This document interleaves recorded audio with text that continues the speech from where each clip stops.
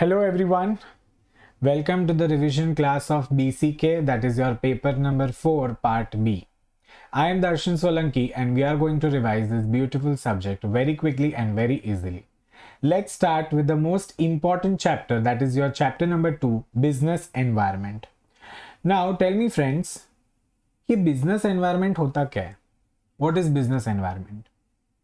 जैसे मैं एक एग्जाम्पल लेता हूं ये हमारा क्लास है सी ए हब ओके अब सी हब के ओनर्स कौन है? एक तो जुजार सर, दर्शन सर और योगी सर। ठीक है?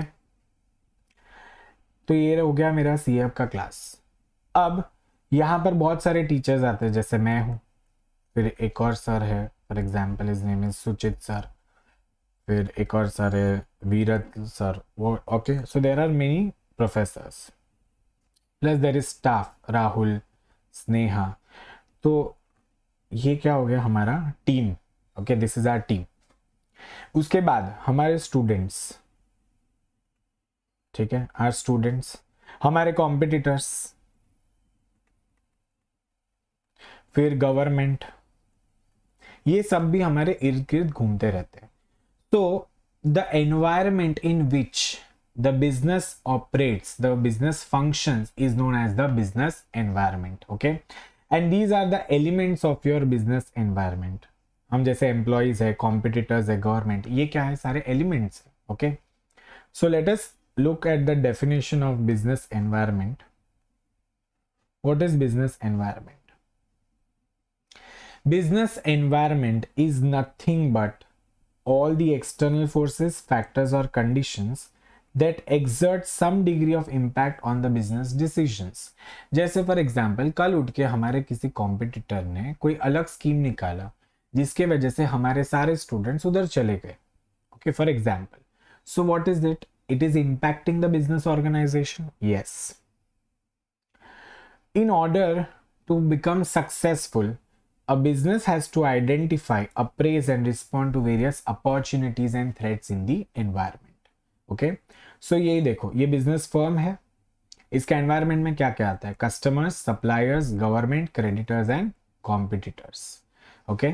Now according to the definition given the environment environment में क्या आता है? Environment includes the factors outside the firm which can lead to opportunities.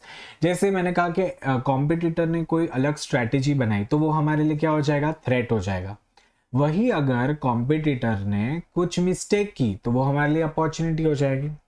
So so, एक बात हमेशा याद रखना एक एनालिसिस आगे जाके अपन सीखेंगे जिसको बोलते हैं स्वॉट एनालिसिस क्या बोलते हैं?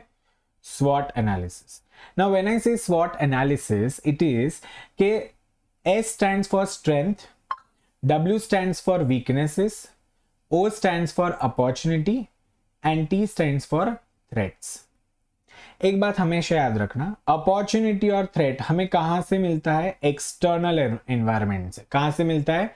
एक्सटर्नल एनवायरमेंट से। और स्ट्रेंथ और वीकनेस जो रहती है, वो हमेशा इंटरनल रहती है। क्या रहती है? इंटरनल तो वही यहाँ पर बताया environmental factors leads to opportunities for और threats to the firm okay, the external environment factors although there are many factors which are most important factors which are like socio-economic technological supplier competitors and government तो ये definition हमें दिया गया है already अब हमको ये तो पता चल गया कि बिज़नेस एनवायरनमेंट होता क्या है तो उसके कैरेक्टरिस्टिक्स भी देखते हैं सबसे पहला कैरेक्टरिस्टिक्स अच्छा इसको याद रखने के लिए एक बहुत अच्छा शॉर्टकट है M I D C M I D C M stands for multifaceted. I stands for far reaching impact. D stands for dynamic and C stands for complex.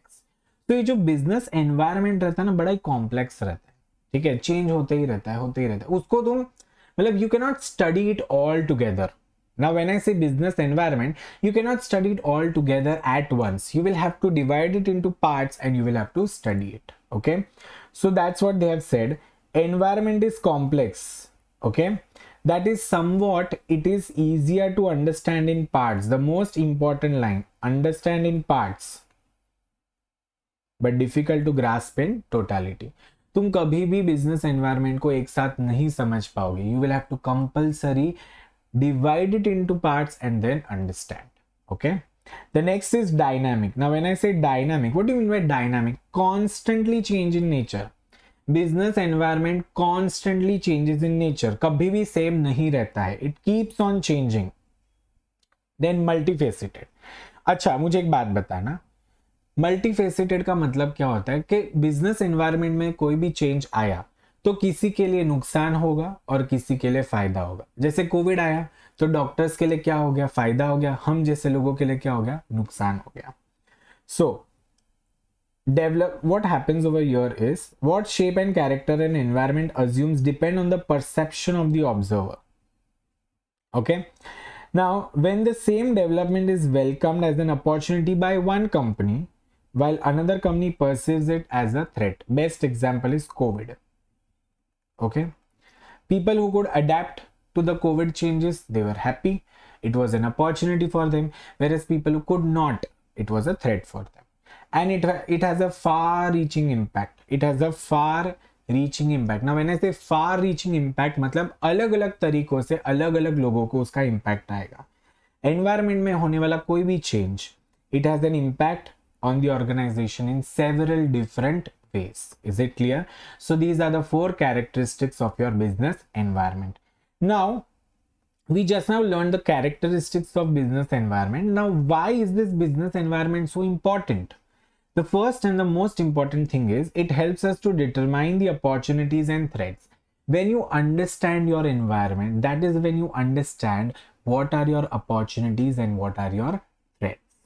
Okay after that it helps us giving direction for growth now when you understand your environment you understand हाँ मेरे customer को ये चाहिए मेरे customer को वो चाहिए इससे क्या होता है तुम अपने अंदर चेंजेस करते रहते हो और ऐसे करके तुम ग्रो होते हो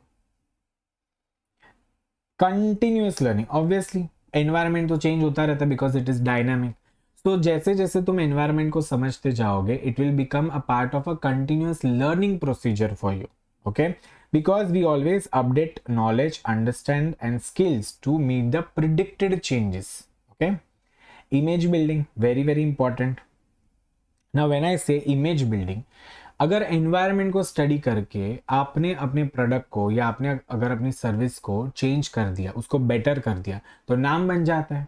यस और no so environmental understanding help the business organisation in improving their image by showing their sensitivity to the environment okay next last meeting competition very very important you must you might have heard that it is said survival of the fittest okay so in this competition if you analyze your competitor strategy by analyzing your environment because competitor is a part of the environment you can easily formulate your own strategies okay और तुम तुम अपने competitor से एक कदम आगे रहोगे हमेशा Now understand what are the relationship between organization and its environment. Okay. Now organization और एनवायरमेंट ये तीन चीज़ एक्सचेंज करता है. Number one exchange of resources ठीक है? जैसे एनवायरमेंट से हमको रॉ मटेरियल मिलता है, वही रॉ मटेरियल यूज़ करके हम क्या करते हैं? फिनिश गुड्स बनाते हैं और वही फिनिश गुड्स अपन कहाँ देते हैं? एनवायरमेंट में देते हैं. फिर एक्सचेंज ऑफ़ इंफॉर्मेशन जैसे हर एक सेल के बाद एक फीडबैक देते हैं. बराबर? तो क्या होता है, हमें एक इन्फॉर्मेशन मिलती है कि कस्टमर को और क्या चाहिए? कस्टमर को हमारी सर्विसेज़ अच्छी लगी या नहीं? तो क्या होता है कस्टमर से एनवायरनमेंट से हमें इन्फॉर्मेशन मिलती है और साथ ही साथ जब भी हम कोई नया प्रोडक्ट लॉन्च कर रहे हैं तो हम भी बाहर एडवर्टीजमेंट करते हैं ना? So we are also sharing information so second is exchange of information and the third most important thing is influence and पार अब एक बात हमेशा याद रखना। Most of the cases environment business को इन्फ्लुएंस करता है I repeat again most of the cases environment business को इन्फ्लुएंस करता है very few times it is very few times that we are as a business organization we are in a position कि हम environment को influence करें तो एक बार वापस रिपीट करते हैं of resources exchange of information and third exchange of influence and power so these are the three uh, areas where there is actual relationship between organization and its environment. Is it clear guys? After this, the next is your environmental influences on business environment का क्या क्या influence आता है business पे but before that let us understand a framework to understand कि जो environmental influences होते हैं वो कैसे होते हैं ठीक है सबसे पहले first what you will do is you will take an initial view of the nature of the organisation environment के ऑर्गेनाइजेशन का जो एनवायरमेंट है, वो कैसा है? इज़ इट सिंपल और कॉम्प्लेक्स क्या वो सिंपल है या कॉम्प्लेक्स है? या क्या वो स्टैटिक है या डायनामिक है? मतलब स्टैटिक है स्टेबल है या बदलते रहते हैं? तो पहले अपन देखेंगे कि एनवायरमेंट कैसा है। फिर हम ये देखेंगे कि उसके अंदर के जो इन्फ्लुएंसेस है, उसको ऑडिट करेंगे चेक करेंगे कि कौन सा फैक्टर या कौन सा चेंज या कौन सा एनवायरमेंट uh, का जो पर्टिकुलर पोर्शन uh, है वो मुझे ज़्यादा इंपैक्ट कर रहा है। Okay and final step is to focus on an explicit consideration of immediate environment. जैसे फॉर एग्ज़ाम्पल मेरे लिए मेरा इमीडिएट एनवायरमेंट कौन हुआ? कॉम्पिटिटर्स सो so, मैं कॉम्पिटिटर्स ये जो एक फैक्टर है एनवायरमेंट का उसको मैं आइडेंटिफाई करूँगा हाँ इससे मुझे ज़्यादा तकलीफ़ होएगी और इसके अगेंस्ट मैं अपनी स्ट्रैटेजीज बनाऊँगा। So this is how you will understand your environment influences in just three steps okay after this let us understand that why are we doing this environment analysis? ये हम क्यों कर रहे हैं? Why? What is the purpose? Okay? So the first purpose is that we should have an understanding of the current and the potential changes, जो कहाँ पर होगी? एनवायरमेंट में होगी। उसकी एक अंडरस्टैंडिंग होनी चाहिए। अंडरस्टैंडिंग होने के बाद वो सब जो इंफॉर्मेशन मिलती है, उसको हम अपनी स्ट्रैटेजिक डिसीज़न में यूज़ करेंगे। एंड थर्ड हम क्या करेंगे? स्ट्रैटेजिक थिंकिंग करके हम अपनी अलग अलग स्ट्रैटेजीज बनाएँगे और स्ट्रैटेजीज बनाने के बाद उसको इम्प्लीमेंट करेंगे। ठीक है? ताकि क्या हो, हम बाकी सारे लोगों से आगे हो जाए। So that is your purpose of environmental analysis next you mean by environmental scanning? What do you mean by environmental scanning? Environmental scanning is the process by which organisation will monitor क्या monitor करेगा? उसका environment और environment monitor करके वो क्या करेगा? Opportunities और threats को पकड़ेगा। अपॉर्चुनिटीज़ को पकड़ेगा थ्रेट्स को कम करेगा और वो क्या करेगा? स्ट्रेटेजिक डिसीज़न लेगा। यस और नो गाइस चलो, इसी का पूरा एक जो प्रोसेस है, वो प्रोसेस होने के बाद हमें चार चीज़ें पता चलती है। एक होता है इवेंट्स दूसरा होता है ट्रेंड्स तीसरा इश्यूज़ एंड एक्सपेक्टेशन ना when I say event event मतलब क्या? जैसे फॉर एग्ज़ाम्पल नरेंद्र मोदी आते हैं और बोलते हैं कि मित्रों, आज से हम सब लोग ये डिसाइड करते हैं कि we are going to wear only white green and orange on Independence Day okay so that is an event okay because we are celebrating a particular thing then trend अब क्या होता है? फ़ैशन इंडस्ट्री में trends देखने को मिलते हैं। जैसे रिप जीन्स ओके पहले लोग नॉर्मल जीन्स पहनते थे, अभी रिप जीन्स का फ़ैशन हो गया। तो एक ट्रेंड हो गया ठीक है? इट्स ट्रेंडी इश्यूज़ इश्यूज़ मतलब कोई भी करंट कंसर्न्स है ये जो इवेंट्स और ट्रेंड्स के रिलेटेड कुछ भी अगर कंसर्न्स है तो those are known as issues and expectation expectation मतलब क्या? Demands made by your customers is nothing but expectation okay so these are the four things that we come across और these are the four factors that we come across when we do your environmental scanning number one events number two trends number three expectation issues and number four expectations okay तो अभी सीखते हैं components of business environment कि business environment में क्या क्या आता है, ठीक है? अब देखो बिज़नेस एनवायरनमेंट पहले तो दो टाइप के होते हैं, एक है तुम्हारा एक्सटर्नल एनवायरनमेंट और एक है तुम्हारा इंटरनल एनवायरनमेंट ठीक है? सो इंटरनल एनवायरमेंट क्या होता है? पहले वो देखते हैं, ठीक है? इंटरनल एनवायरमेंट के अंदर तुम्हारा मैनेजमेंट आता है मतलब जो मैनेज करते हैं बिज़नेस को।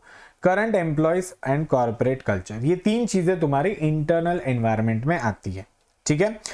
एंड मोस्ट इंपॉर्टेंट ये होता है कि इंटरनल एनवायरमेंट के अंदर जो भी तुम्हारे एम्प्लॉयज़ है, उनका बिहेवियर कैसा है, ठीक है? It also includes the organisation mission statement okay? It also includes the organization's mission statement, leadership style and the culture in the organization. ये क्या है तुम्हारा internal environment है, okay? अब इंटरनल एनवायरनमेंट के बाद let us understand what is external environment so external environment मतलब वो जो बिज़नेस के इंटरनल एनवायरनमेंट के बाहर है, जैसे कॉम्पिटिटर्स क्या वो बिज़नेस का पार्ट है? नहीं.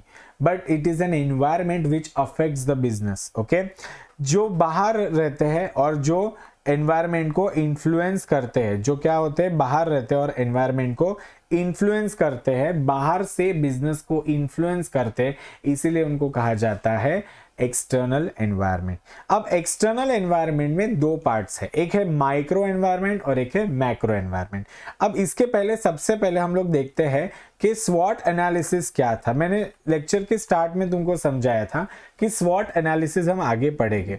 तो let us understand what is स्वॉट analysis सबसे पहली चीज़ S stand for strength strength क्या होता है? द इनहेरेंट कैपेसिटी ओके जैसे फॉर एग्ज़ाम्पल कोई एक बिज़नेस ऑर्गेनाइजेशन है वहाँ के एम्प्लॉयज़ uh, बहुत ही ज़्यादा एफिशिएंट है बहुत ही ज़्यादा इंटेलेक्चुअल है बहुत ही ज़्यादा कैपेबल है तो वो क्या हो गई? उस ऑर्गेनाइजेशन की स्ट्रेंथ हो गई। अब ठीक है दूसरा थ्रेट क्या होता है? Threat okay threat is the inherent limitation okay strength क्या हुआ? इनहेरेंट कैपेसिटी थ्रेट क्या हुआ? इनहेरेंट लिमिटेशन इनहेरेंट लिमिटेशन मतलब कि अगर एम्प्लॉयज़ ही बकवास काम करते एम्प्लॉयज़ ही गलतियाँ करते तो क्या हो गई? तुम्हारी वीकनेस हो गई मतलब वो इनहेरेंट लिमिटेशन है। तो एक बात याद रखना स्ट्रेंथ और वीकनेस ये हमेशा कहाँ से आती है? इंटरनल एनवायरमेंट से। कहाँ से आती है? इंटरनल एनवायरमेंट से। अब क्या हुआ कि हमारे बाजू में हमारा कॉम्पिटिटर है। वो कॉम्पिटिटर ने क्या किया? हमसे कम प्राइस में अपने प्रोडक्ट्स बेचने लगा। तो क्या हो गया? हमारे लिए थ्रेट हो गया। ठीक है? अब सपोज़ ऐसा हुआ कि वो जो कॉम्पिटिटर था, उसको कुछ रीजन से अपनी दुकान को एक दो महीने के लिए बंद रखना पड़ा। तो वो क्या हो गई? हमारे लिए अपॉर्चुनिटी हो गई कि हम उसके भी कस्टमर्स को हमारा प्रोडक्ट बेचेंगे so what is opportunity opportunity is a favourable condition in the organisation environment whereas threat is an unfavourable condition in the organisation environment जिसकी वजह से क्या होता है? हमें रिस्क बेयर करना पड़ता है। क्लियर हुआ? So strength weakness opportunity and threat strength और वीकनेस हमें कहाँ से मिलती है? Internal environment opportunity and threat कहाँ से मिलती है? External environment is it very clear the स्वॉट analysis is clear after this let us understand that what we will do with the SWOT analysis. Now using our strength, we will try to minimize the impact of our weaknesses. Okay. And then when we do that, we will try to capitalize or we will try to capture all the opportunities. Okay. And we will neutralize our threats. Okay. So ये हम करेंगे SWOT analysis में. अब micro environment micro environment में क्या क्या आता है माइक्रो एनवायरमेंट में टोटल तुम्हारे पास छह चीज़ें आती है ओके जिसका एक कोड वर्ड है, जिसको हम बोलेंगे कॉस्मिक ओके कॉस्मिक याद रखेंगे ओके अब देखना ध्यान से। सबसे पहला कस्टमर माइक्रो एनवायरमेंट मतलब जो मुझसे ज़्यादा नज़दीक है एक्सटर्नल है बट मुझसे ज़्यादा नज़दीक है, जिसका इंपैक्ट मुझे जल्दी होगा ओके कस्टमर कस्टमर मतलब कौन? जो हमारा प्रोडक्ट लेता है ऑर्गेनाइजेशन ऑर्गेनाइजेशन मतलब कौन? जहाँ मतलब बिज़नेस जो है, उसी को ऑर्गेनाइजेशन बोलेंगे बट ऑर्गेनाइजेशन के अंदर कौन कौन आता है? ठीक है? सबसे पहले ओनर्स आते हैं मतलब मेरे शेयर होल्डर्स फिर मेरे बोर्ड ऑफ़ डायरेक्टर्स और मेरे एम्प्लॉयज़ ये सब क्या है? मेरा ऑर्गेनाइजेशन है। उसके बाद मार्केट ओके मार्केट के बाद इंटरमीडियरीज फिर कॉम्पिटिटर्स और सप्लायर्स तो चलो सबको डिटेल में पढ़ते हैं। ठीक है? So elements of micro environment अब माइक्रो एनवायरमेंट के एलिमेंट्स क्या है? Okay according to Peter Drucker पहला एलिमेंट है customer according to Peter Drucker वो बोलता है कि main aim of the business is to create and retain customers किसी भी बिज़नेस का मेन मकसद क्या है कि वो अपने कस्टमर्स को क्रिएट करे नए नए कस्टमर्स बनाए और उन्हें संभाल के रखे okay so that is the main aim of the business ठीक है? अब हमें जानना है कि हमारा कस्टमर कौन है या हमारा कंज्यूमर कौन है? ये पहला क्वेश्चन आता है। दूसरा क्वेश्चन कि उनको हमसे क्या चाहिए? What are the benefits that they are looking for and उनकी बाइंग पैटर्न्स क्या है? उनको कौन सी हमारी प्रोडक्ट ज़्यादा अच्छी लगती है और कौन सी हमारी प्रोडक्ट ज़्यादा अच्छी नहीं लगती है? सो so, पहला हो गया तुम्हारा कस्टमर दूसरा है तुम्हारा कॉम्पिटिटर कॉम्पिटिटर से तो बच के रहने का और उससे दो कदम आगे चलने का ठीक है? कॉम्पिटिटर्स वो होते हैं जो हमें बिज़नेस को ज़्यादा इंटरेस्टिंग बनाने में मदद करते हैं ठीक है? बिकॉज़ अगर हमने एज इट इज़ सिंपल ही रख दिया ओके okay, ये भी ये वड़ा पाव बेच रहा है ये भी वड़ा पाव बेच रहा है ठीक है? सो क्या फ़र्क है ठीक है? कहीं से भी कस्टमर ले लेगा। बट हाँ अगर हम कुछ नया कर रहे कुछ नया इनोवेटिव कर रहे तो कॉम्पिटिटर्स से हमारे पास ज़्यादा कस्टमर्स आएँगे। सो so, पहले तो हम जानेंगे कि हमारे कॉम्पिटिटर्स कौन है। उसके बाद हम देखेंगे कि हमारा बिज़नेस का ऑब्जेक्टिव और उनका बिज़नेस का ऑब्जेक्टिव क्या क्या है। अगर सेम ऑब्जेक्टिव है तो हम उस हिसाब से हमारा स्ट्रैटेजी चेंज करेंगे। तो उनका बिज़नेस ऑब्जेक्टिव और उनकी स्ट्रैटेजीज क्या है वो भी हम देखेंगे। और क्या वो ज़्यादा अग्रेसिव है? क्या वो बहुत पावरफुल है? वो भी हम चेक करेंगे। अब देखो कंपटीशन दो टाइप का होता है। एक होता है डायरेक्ट कंपटीशन एक होता है इनडायरेक्ट कंपटीशन जब मैं बोलता हूँ डायरेक्ट कंपटीशन मतलब जैसे मैं चाय बेच रहा हूँ और एक दूसरा टपरी वाला है, वो भी चाय बेच रहा है। ठीक है? तो हम दोनों क्या हो गए? डायरेक्ट कॉम्पिटिटर्स क्योंकि सेम प्रोडक्ट लाइन है। ठीक है? अब होता है इनडायरेक्ट कॉम्पिटिशन ठीक है? जैसे मैं चाय बेचता हूँ, ठीक है? और एक और बंदा है, वो क्या करता है, रेडीमेड टी बैग्स बेचता है, ओके? तो वो तो मेरा सब्सटीट्यूट हो गया। या तो फिर जैसे एक रेस्टोरेंट वाला हो गया, और जो फ्रोजन फूड्स आते हैं ना मकेन्स के वगैरह, वो क्या हो गए? वो लोग इनडायरेक्ट कॉम्पिटिशन में एक दूसरे के साथ, okay? Third is your organisation अब देखो ऑर्गेनाइजेशन मतलब क्या? जो भी इंडिविजुअल्स है, जो उस पर्टिकुलर ऑर्गेनाइजेशन में या तो काम कर रहे हैं या तो फिर उस ऑर्गेनाइजेशन के ओनर है या तो उसको मैनेज कर ये सारे के सारे का क्या होते हैं ऑर्गेनाइजेशन का पार्ट होते हैं। अब इसमें तीन है एक तो ओनर्स ओनर्स मतलब कौन? इंडिविजुअल्स या शेयर होल्डर्स ओके जिन्होंने अपने पैसे इन्वेस्ट किए हैं। दूसरे होते हैं board of directors board of directors मतलब जो टॉप मैनेजमेंट होता है किसी भी कंपनी का उन्हें हम क्या कहते हैं? Board of directors and last is employees employees क्या करते हैं? जो प्लान्स और प्लान्स uh, को एग्जीक्यूट करते हैं और स्ट्रैटेजीज को भी एग्जीक्यूट करते हैं इन दी ऑर्गेनाइजेशन तो ये तीन लोग आते हैं। उसके बाद नेक्स्ट है मार्केट ओके मार्केट मतलब क्या? पहली बात तो मार्केट बड़ा होता है कस्टमर्स से, ठीक है? कस्टमर्स मिलकर उसे मार्केट बनाते हैं। लोग जहाँ से गुड्स और सर्विसेज़ बाय और सेल करते हैं, उसे हम क्या कहते हैं? मार्केट कहते हैं। अब मार्केट की एक्चुअल और उसकी पोटेंशियल साइज़ हमें पता होनी चाहिए एज अ बिज़नेस ऑर्गेनाइजेशन ठीक है? ग्रोथ के भी एस्पेक्ट्स हमें मालूम होने चाहिए। एंड मोस्ट इंपॉर्टेंट कि मार्केट का कॉस्ट स्ट्रक्चर क्या है ठीक है? कितना सेंसिटिव है मार्केट? अगर मैं थोड़ा सा भी प्राइस ऊपर नीचे कर दूँ तो मार्केट में क्या होगा? फिर उसका टेक्नोलॉजिकल स्ट्रक्चर क्या है ओके? उसकी एग्जिस्टिंग डिस्ट्रीब्यूशन सिस्टम क्या है? और क्या ये मेरा मार्केट मेच्योर है या अभी भी इमेच्योर है? क्लियर हुआ? सो so, ये हो गया तुम्हारा market. Next is your supplier ठीक है? सप्लायर बहुत ज़्यादा इंपॉर्टेंट होता है एक माइक्रो एनवायरमेंट में क्योंकि वो डिटरमाइन करता है प्राइस उसके पास होती है बार्गेनिंग पावर ठीक है? Is the most important component of the micro environment because they provide raw materials equipment services and so on अगर सप्लायर ही नहीं होगा तो हम प्रोड्यूस कैसे करेंगे? और प्रोड्यूस नहीं करेंगे तो बेचेंगे कैसे? क्लियर हुआ? They have their own bargaining powers and they can dominate the prices. Is it clear? So with this we finish our मतलब we almost finish the last point is intermediaries what is intermediaries intermediaries मतलब बीच के लोग ठीक है? बीच के लोग मतलब क्या? जैसे फॉर एग्ज़ाम्पल होलसेलर ठीक है? रिटेलर एंड ट्रेडर ओके अब यहाँ पर होता है मैन्युफैक्चरर तो मैन्युफैक्चरर मैन्युफैक्चर करता है और देता है होलसेलर को. होलसेलर क्या करता है? रिटेलर को देता है रिटेलर ट्रेडर को देता है. ट्रेडर अल्टीमेटली किसको देता है? कंज्यूमर को. सो so, ये तीन जो लोग हैं इन्हें हम कहते हैं इंटरमीडियरीज मतलब they also can exert influence on the business organisation okay is it clear जैसे फॉर एग्ज़ाम्पल बिग बाज़ार बिग बाज़ार क्या करता है? अपने ही जगह पर, अपने ही मॉल में बहुत सारे अलग अलग ब्रांड्स लेकर आता है. जैसे पेंटलून्स सेंट्रल ये सारे क्या हो गए? तुम्हारे इंटरमीडियरीज हो गए. Is it clear next elements of micro के बाद हम सीखेंगे elements of macro environment micro के क्या थे? कॉस्मिक। अब मैक्रो के है pastel, okay?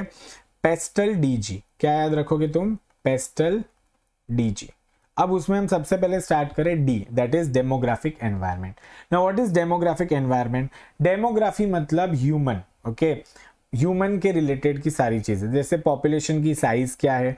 Race age income educational attainment ये सारी अटेनमेंट ये सारी की सारी चीज़ें हम कहाँ देखेंगे? तुम्हारी डेमोग्राफिक एनवायरनमेंट में ओके डेमोग्राफिक एनवायरनमेंट में कुछ फैक्टर्स है, जैसे population size okay most important thing what is the population size is it large is it small okay फिर क्या क्या चेंजेस आ रहे हैं? Birth rate death rate okay families बढ़ रही है, कम हो रही है।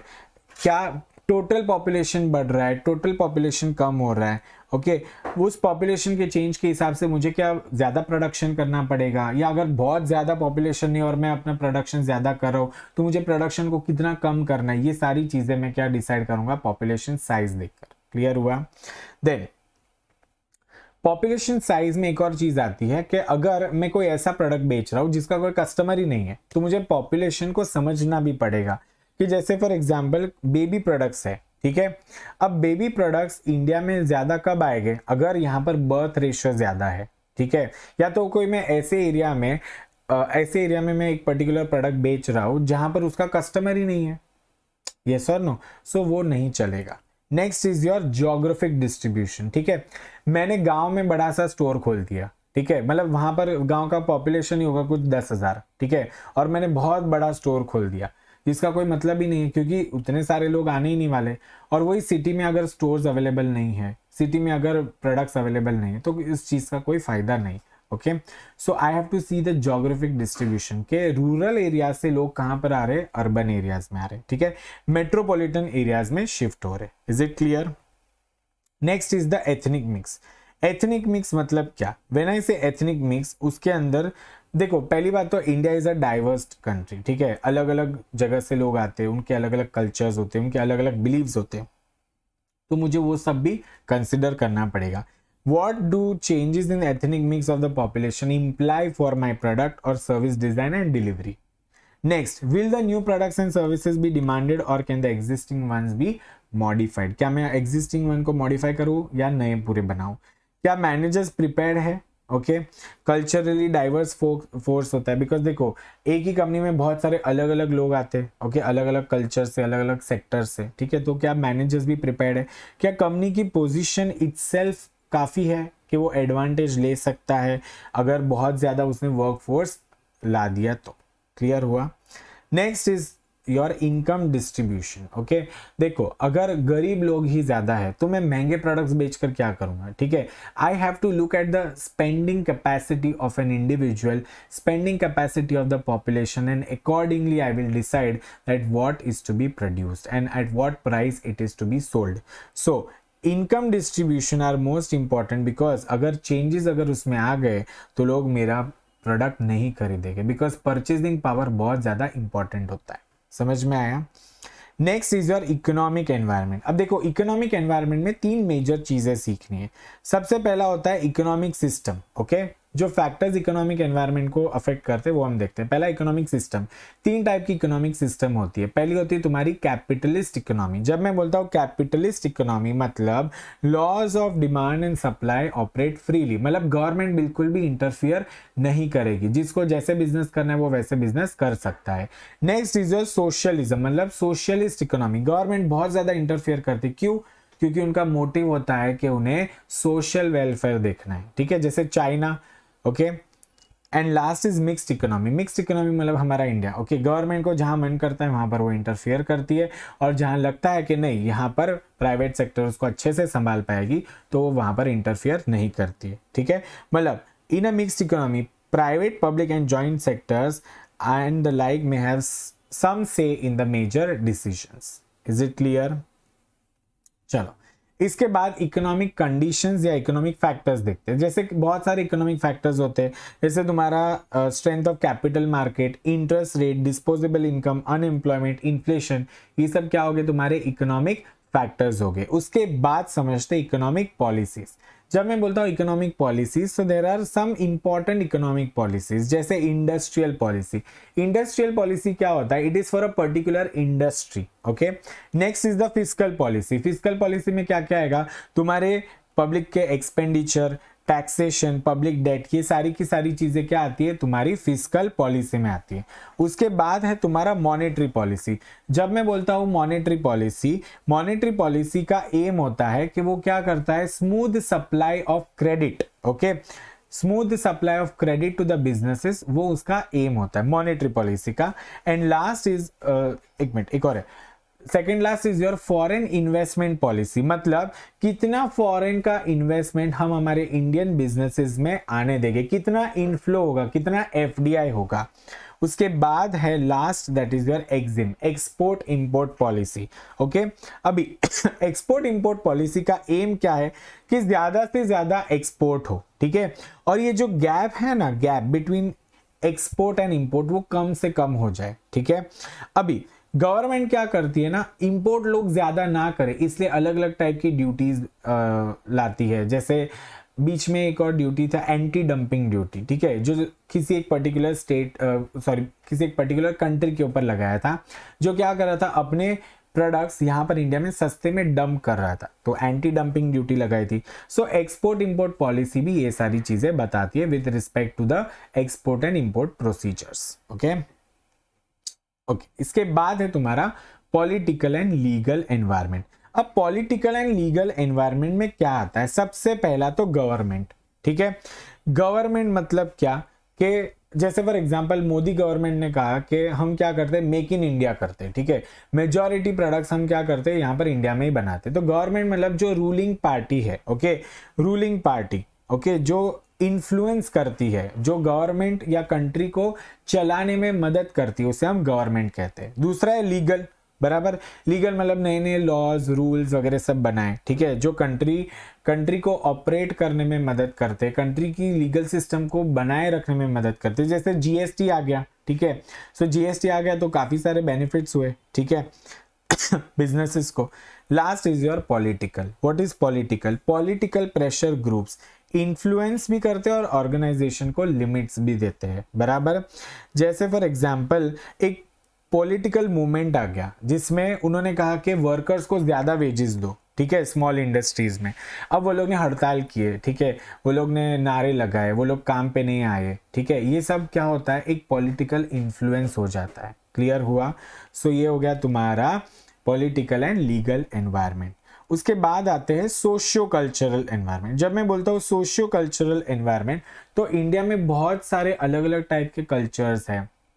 उन हर एक कल्चर्स के हिसाब से बिज़नेस को सोचना पड़ता है बिज़नेस को वैसे ही डिसीजंस लेने पड़ते हैं। ठीक है? सो वो आ जाता है तुम्हारा सोशियो कल्चरल एनवायरमेंट अब उसके अंदर यहाँ पर सोशल कंसर्न्स जो बिज़नेस को इम्पैक्ट देता है कि सोसाइटी में क्या चल रहा है सोसाइटी में क्या क्या एक्सेप्ट होता है। जैसे सोशल ट्रेडिशंस हो गए वैल्यूज़ हो गए बिलीव्स हो गए, ये सारा तुम्हारा क्या है? Social cultural environment is it clear then, next is your technological environment. Now, when i say technological environment, it means कि टेक्नोलॉजी दिन बर दिन चेंज ही होती जा रही है, ठीक है? पहले लोग स्पेसिफिकली कोई प्रोडक्ट खरीदने के लिए वो दुकान तक जाते थे या मतलब वो पर्टिकुलर स्टोर में जाकर ही परचेज करते थे। आज एक क्लिक के ऊपर वो हम खरीद लेते हैं, ठीक है? So the pull of technological change okay कितना ज़्यादा टेक्नोलॉजी के वजह से बिज़नेस के अंदर चेंजेस आए। Opportunities arising out of technological innovation अब देखो, जैसे फॉर एग्ज़ाम्पल पुराने ज़माने की अगर बात करें तो लोग जब तक वो प्रोडक्ट को देखते नहीं थे, जब तक उसको टच नहीं करते थे, तब तक उसको मतलब they to check and then they to purchase it अब क्या हो गया? ऑनलाइन खरीद लो। तो ऑनलाइन खरीदने के लिए मतलब तुमको ऐसा ज़रूरी नहीं कि एक बड़ा सा शोरूम होना चाहिए, एक बड़ा सा सेटअप होना चाहिए कस्टमर आएँगे, उतना एम्प्लॉयज़ रखने पड़ेंगे। नहीं बिकॉज़ तुम ऑनलाइन बेच रहे हो तो तुम अकेले भी उस बिज़नेस को हैंडल कर सकते हो। Risk and uncertainty of technological development ठीक है, अगर तुम टेक्नोलॉजी के हिसाब से नहीं चले तो तुम पीछे रह जाओगे। And role of R and D in a country okay and the government R and D budget clear हुआ। सो so, ये सारी की सारी चीज़ें तुम्हारी टेक्नोलॉजिकल एनवायरमेंट होती है जैसे एक एग्जांपल लेते हैं मारुति सुजुकी ठीक है? अब आजकल क्या हो गया? इलेक्ट्रॉनिक व्हीकल्स आ गए ठीक है? ई बाइक आ गया ई स्कूटर आ गया यो बाइक आ गया अभी तो इलेक्ट्रॉनिक कार्स भी आ गए। तो क्या हो रहा है? ये दूसरे एनवायरमेंट के लिए मतलब सॉरी uh, दूसरे बिजनेसेस के लिए जैसे जिनका प्रॉपर कार का बिज़नेस है या प्रॉपर व्हीकल्स का बिज़नेस है जो पेट्रोल या डीजल पे चलती है उनके लिए क्या हो गया? ये थ्रेट हो गया। किससे थ्रेट हो गया? तुम्हारी टेक्नोलॉजी डेवलप हो गई ना, अभी इलेक्ट्रॉनिक व्हीकल्स आ गए तो टेक्नोलॉजी डेवलप होने की वजह से बाकी सारे लोगों को क्या हो गई? थ्रेट आ गई okay next is your global environment obviously when I say global environment okay in in your globalisation we have understood that India is not just trading in India okay it goes beyond the boundaries okay so globalisation मतलब क्या? The entire world is one market now ठीक है? सो globalisation के वजह से भी क्या होता है ना, बहुत सारा बिज़नेस के ऊपर इम्पैक्ट आता है ओके okay? इसके बाद एक एनालिसिस है पेस्टल एनालिसिस उसमें यही सारी चीज़ें लिखी गई है political economical socio cultural technological legal and environmental ठीक है? The ones that we studied right now it is exactly the same almost the same okay अब पेस्टल एनालिसिस के बाद पेस्टल एनालिसिस के बाद let us understand the strategic response to the environment अब as a business organisation तुम अपने environment को कैसे रिस्पॉन्ड करोगे? अब इसकी दो कैटेगरीज है या दो टाइप्स है। एक तो इंटरनल स्ट्रेटेजिक रिस्पॉन्स मतलब तुम अपने आप में क्या चेंजेस लाओगे ओके सो so, पहला है एडमिनिस्ट्रेटिव रिस्पॉन्स ना व्हेन से एडमिनिस्ट्रेटिव रिस्पॉन्स इसके अंदर क्या क्या आता है? इट इंक्लूड्स फॉर्मेशन और clarification of organization mission the development of objectives policies and budgets ठीक है वो क्या करेंगे अपने ही एडमिनिस्ट्रेशन मतलब अपने ही बिज़नेस के फ़ंक्शंस को चेंज करेंगे उसे डेवलप करेंगे उसे ज़्यादा स्ट्रॉन्ग बनाएँगे ठीक है it relates to the change it relates to changing a way a business operates to meet the particular change in the environment okay so that is administrative response next is competitive response now when i say competitive response मतलब अगर business के साथ बहुत सारे competitors है। मतलब business is in competition ठीक है? तो अगर उसमें बने रहना है to sustain competitive advantage organization must achieve an external position against their competitors okay जैसे फॉर एग्ज़ाम्पल वो क्या करेंगे? अपने प्रोडक्ट को ज़्यादा यूनिक बनाएँगे, उसकी वैल्यू ज़्यादा क्रिएट करेंगे एंड मोस्ट इंपॉर्टेंट थिंग ऐसे प्रोडक्ट्स बनाएँगे जो कोई कॉपी नहीं कर पाएगा। Is it clear so that is a competitive response जैसे एप्पल ओके एप्पल की phones no one can copy it right and it is obviously it has a very high competitive advantage over other mobile phones last is your collective response जब मैं बोलता हूँ collective response मतलब क्या? एक business और दो, दूसरा business business A business B दोनों मर्ज होके क्या कर रहे हैं?